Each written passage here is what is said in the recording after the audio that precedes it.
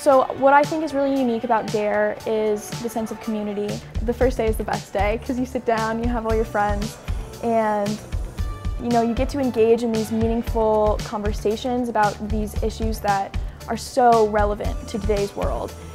But you also get to talk about those issues with your friends, which I absolutely love. I believe that relationships between students in college are very important.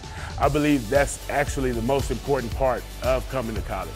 I relocated to Fort Collins to come into the in-person space so that I could build those relationships. The business side of agriculture, those are the real growth opportunities within any business or industry. Our students participate a lot in travel abroad. We have programs where we have students visit universities. Best example is in New Zealand, and then we also have a program that's pretty intensive that's in northern Italy. What I think is unique and great about the DARE community is that the DARE community brings together business majors as well as educators. So we have a group of individuals within the DARE community that are focused on profits. And then we have individuals that are studying education. It's just amazing to see the two dynamics work together.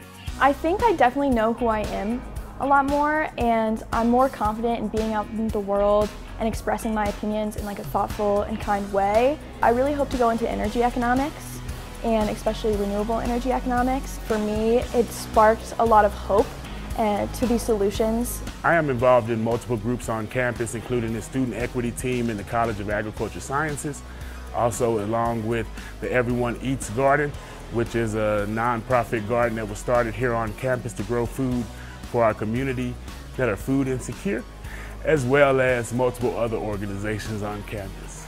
I found a lot of friendly people, not only within the students, but also the teachers and the teachers are so awesome about being inclusive and just being really down to see you wherever you're at and talk about not only like the class and the material but also about life which I really enjoy.